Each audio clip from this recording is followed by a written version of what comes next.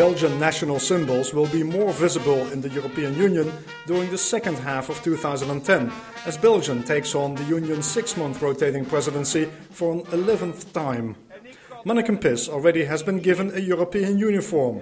It was unveiled by Belgium's European Council President Herman van Rompuy just before the presidency started.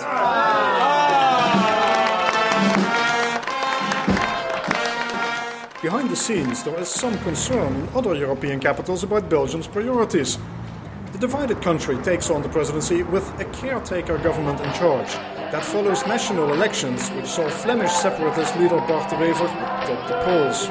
De Wever has assured the European Commission that the Belgian political crisis will not interfere with its EU presidency. J'ai rassuré M. Barroso que euh, la transition vers un nouveau gouvernement de ce pays n'empêchera pas euh, l'efficacité de la présidence belge de l'Union européenne.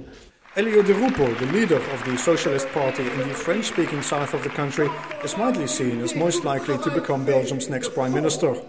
The Socialists, together with their Flemish counterparts, hold the largest number of seats in the new parliament. The main priority for the Belgian government under the presidency is to find the proper modus operandi for the European Union after the Lisbon Treaty that took effect at the end of last year. It's a job that is still not finished at the end of the previous Spanish presidency.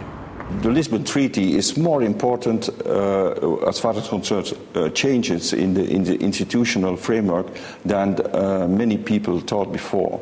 And uh, we have, for the first presidency, a full preparation into uh, the knowledge, knowing that the, the new treaty would uh, come into force.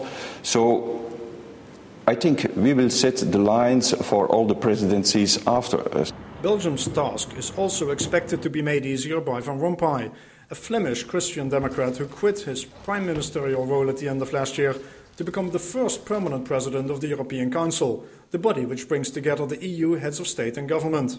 We do see that the institutions are still, still uh, looking for their borders. They are uh, seeking how far they can go too far. Uh, we, we, we, see that uh, between uh, Mr. Van Rompuy and Mr. Barroso, the, the, the game be between these two is not uh, very clear yet. Um, same thing for the uh, European Parliament. It is not very clear how the European Parliament and the uh, rotating presidency will play together. So, despite the concerns on the surface, no major shakes are expected under the Belgian presidency. Unless another new and unexpected crisis emerges, Belgium has set its sights firmly on addressing the EU's internal procedures. And as for not having a proper new government, well, July and August are holiday months in Belgium. The real work of its EU presidency would not start before September anyway. Raymond Franken, EUX TV.